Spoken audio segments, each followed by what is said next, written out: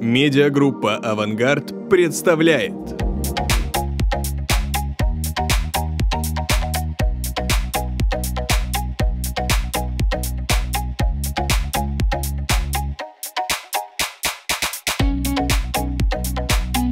Меня зовут Василий Шаура. Я отвечаю за развитие бизнеса и развитие инновационных решений э, в химии, нефтехимии и нефтегазе в нашей компании. До недавнего времени кибербезопасность в СУТП вообще не рассматривалась.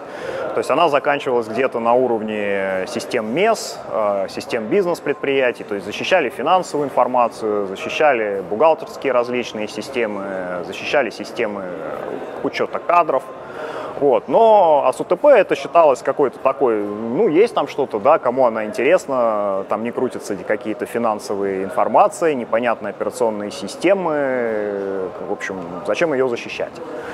А, но вот несколько лет назад, да, произошли различные инциденты, ну, вот, начиная с совсем известного Stuxnet, да, и постепенно все это начало развиваться. А, начала появляться нормативная база, законодательная база, которая уже обязывала людей это защищать. Ну и вот в последние годы мы видим, что все-таки от обязаловки это переходит к тому, что люди осознают, что это нужно защищать.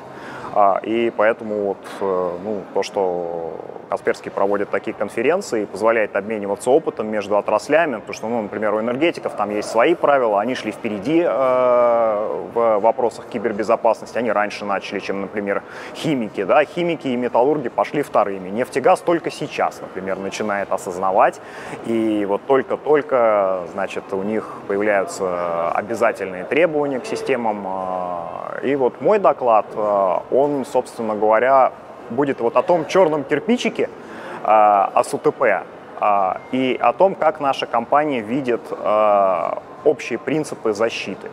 То есть я не буду там рассказывать о каких-то больших технических подробностях, но вот некие базовые принципы, которые в нашей компании разработаны на основе анализа тех инцидентов, которые происходили по миру, а, вот, собственно говоря, об этом я хочу рассказать. Бизнес АСУТП, он, ну, например, абсолютно не, прием, не приемлет подписки, да, то есть вот большинство ИТ-шного софта, оно распространяется по подпискам, когда с этим приходишь в АСУТП, там говорят, у нас нет возможности каждый год что-то оплачивать. Вот продайте нам тот черный ящик, который мы поставим, он будет работать 10 лет, срок службы АСУТП. Ну, это такой базовый джентльменский срок службы АСУТП. Многие нормативные акты, которые у нас изданы, воспринимаются заказчиком так, что его можно решить организационными методами. То есть мы, например, предлагаем систему автоматических обновлений защищенных серверов. А, да, эти обновления нами протестированы, эти обновления по защищенному каналу накатываются. Они говорят, нет, нам это не надо, это дополнительные деньги. Мы возьмем человека, дадим ему бумажный журнал, он будет обходить там раз в неделю все станции, смотреть, и если где-то какая-то версия устаревшая, вручную ее накатывать. Мы говорим, ну это же дополнительный фактор риска, да, этот человек может внести какие-то вот, э, ну, сделать просто что-то неправильно, даже не то, что он злоумышленник, он просто может сделать что-то неправильно. Зато это дешево. И вот донести пока до многих заказчиков СУТП то, что, ребята, это не те деньги, где надо экономить, да, вот не надо здесь экономить, пока не всегда получается. Есть заказчики, которые, как бы, ну, сами понимают, и вы, вы очень большие, серьезные требования в своих э, тендерах выкатывают.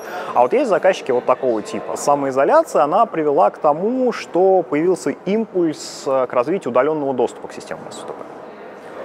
А он пока еще такой вот зачаточный, э, но тем не менее вообще границы между ИТ и АСУТП очень сильно размываются. И вот проблема как раз защиты удаленного доступа к системе, она стоит сейчас достаточно остро, ее многие заказчики, по крайней мере в химии, поднимают и требуют от нас каких-то решений. И вот мы тоже разработали некий ну, концепт-подход, как это делать? Ну, а, собственно говоря, об этом я тоже в своей презентации хочу немножко поговорить. А второй момент, и он тоже достаточно актуален для нашей страны, это то, что ну, количество квалифицированного персонала, а, оно несколько сейчас э, меньше, чем требуется для того масштабного строительства, которое идет сейчас в нефтехимии. Сейчас уже идет борьба за персонал.